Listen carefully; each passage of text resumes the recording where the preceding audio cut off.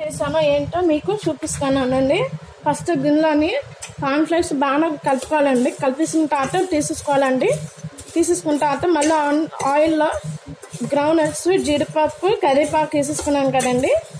దాని తర్వాత ముందుగా కారం సాల్ట్ కొంచెం షుగరు పెప్పర్ పౌడర్ అన్నీ వేసుకున్నాను కదా.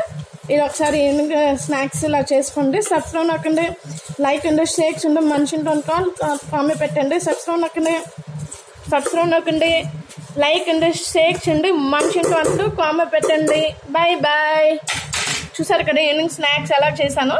ఒకసారి మీ ఇంట్లో ట్రై చేయండి. సబ్స్క్రైబ్ నొక్కండి సబ్స్క్రైబ్ నొక్కండి లైక్ అండి షేక్స్ అండి మనిషి అంటూ కామెంట్ పెట్టండి. Bye bye